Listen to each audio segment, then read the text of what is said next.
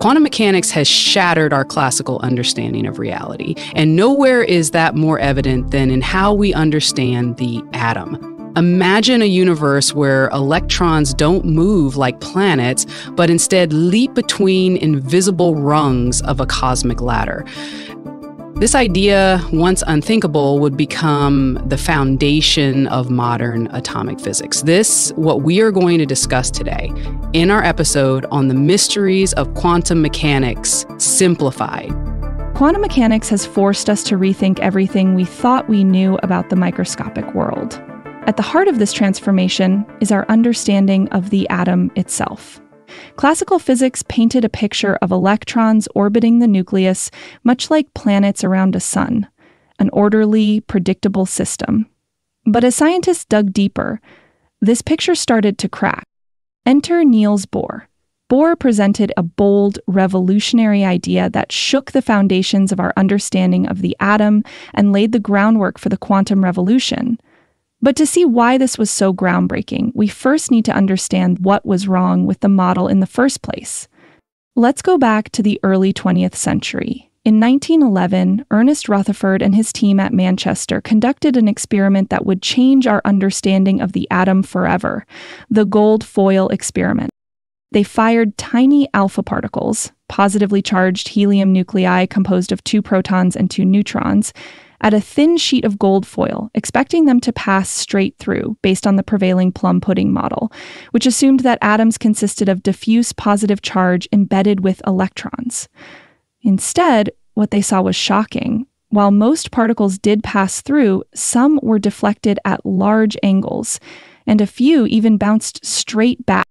This led Rutherford to a radical conclusion the atom was mostly empty space, with a tiny, dense, positively charged nucleus at its center where nearly all its mass was concentrated. Electrons, he proposed, must orbit this nucleus at a distance, much like planets orbiting the sun. This model revolutionized atomic physics, but came with a troubling flaw. What kind of flaw? Rutherford's model suggested that electrons orbit the nucleus like planets around the sun. However, according to classical electromagnetism, a charged particle moving in a circular orbit, like an electron, should constantly emit electromagnetic radiation. As it radiates energy, it should lose momentum and spiral inward, collapsing into the nucleus in less than a millionth of a second. This posed a fundamental problem. If this were true, atoms couldn't exist as stable structures, yet clearly they do. But atoms don't collapse like that. Exactly. Atoms are stable, yet Rutherford's model couldn't explain why. It was a major crisis in physics. Enter Niels Bohr, a young Danish physicist who had just arrived at Rutherford's lab in Manchester. Bohr came from an intellectual background. His father, Christian Bohr, was a renowned professor of physiology, and his home was a gathering place for some of Denmark's brightest minds. Young Niels absorbed complex ideas at an early age, but remained humble and introspective, never seeking the limelight. As a young scientist, he faced early setbacks. When he went to Cambridge to work under J.J. Thomson, the discoverer of the electron, he was largely dismissed. Thomson found Bohr's approach unconventional, and Bohr struggled to fit into the rigid research environment. Disappointed but undeterred, he found his true intellectual home with Ernest Rutherford in Manchester. Rutherford, unlike Thomson, recognized Bohr's brilliance and encouraged his independent thinking. For Bohr, taking all of these ideas into account made a bold leap, one that would redefine our understanding of the atom. Instead of continuous orbits, he proposed that electrons could only occupy fixed energy levels, what we now call quantized orbits. So electrons weren't free to move however they wanted as we had initially expected. No. Bohr's key insight was that electrons could only exist in these stationary states, each corresponding to a specific energy. And when an electron changed levels, it had to jump between them, emitting or absorbing energy in discrete packets we know as photons. Bohr's journey toward quantum mechanics was not an easy one. At first, he explored classical atomic models, but they failed to explain experimental observations. One early attempt to incorporate quantum ideas came from Arthur Eric Haas in 1910, who suggested that the size of an atom could be derived using Planck's constant. However, his work was largely ignored. The turning point came when Bohr recognized that classical electromagnetism could not account for atomic spectra. At the 1911 Solvay conference, leading physicists debated the growing evidence that classical mechanics was incomplete. Bohr, influenced by these debates and discussions with Rutherford, made the bold leap and proposed his framework. The realization that electrons could only exist in discrete energy levels and transition between them by absorbing or emitting photons was revolutionary. It was an intellectual risk that defied centuries of classical physics, but it would soon prove to be one of the most profound breakthroughs in modern science. And this explained atomic stability?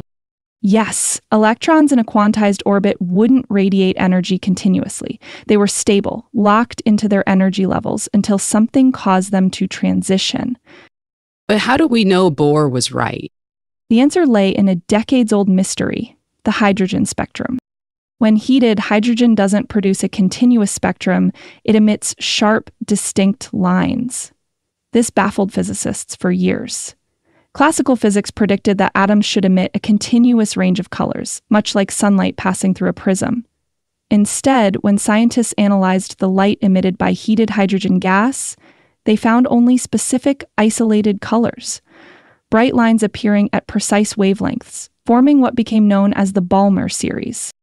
This was a major mystery. If electrons were free to orbit the nucleus in any way, why weren't they emitting all possible wavelengths of light? Why were only certain colors appearing? The answer, as Bohr proposed, lay in the concept of quantized energy levels. Electrons could only exist at specific orbits, and transitions between these orbits dictated the precise energy and therefore wavelength of the emitted light. Bohr's model not only explained these missing colors, but also provided a mathematical foundation that perfectly matched the observed hydrogen spectrum. His work on atomic structure quickly gained recognition, and he won the Nobel Prize in 1922, a year after Einstein won the same for explaining the photoelectric effect. Does Bohr's model on atomic structure still stand today? Not quite. While it worked beautifully for hydrogen, it failed for multi electron atoms. It also couldn't explain the fine structure of spectral lines or the newly discovered electron spin. Even Bohr himself was uneasy about the limitations of his model. He had taken a bold step in introducing quantum ideas, but deep down he knew his model was incomplete. He struggled with the nature of quantum jumps. Were electrons really teleporting between orbits, or was something deeper at play? He wasn't fully convinced that his own mathematical framework reflected the full reality of atomic structure. As experiments pushed further, cracks began to show. The introduction of the Zeeman effect, where spectral lines split in a magnetic field, suggested that electrons had an additional property, something that Bohr's model couldn't account for. Scientists like Wolfgang Pauli and Arnold Sommerfeld expanded upon his ideas, introducing concepts like electron spin and elliptical orbits. But even these refinements weren't enough. So, what happened next? Bohr, rather than resisting, embraced the challenges.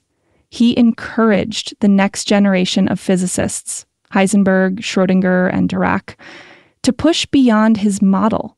He believed science should evolve, and when quantum mechanics did just that, he championed its new, unsettling vision of reality. A more complete quantum theory was needed, this led to the development of Schrödinger's wave mechanics and Heisenberg's matrix mechanics, which replaced Bohr's neat electron orbits with the concept of probability clouds. Sounds like quantum mechanics has started to become weirder. Bohr's model set the stage, but it raised even deeper questions. In the next episode, we'll dive into one of the strangest puzzles in physics wave particle duality an observation that an electron can act like a particle one moment and spread out like a wave the next. This would mean that it could be present at two places at the same time. Tune into the next episode to uncover the mystery.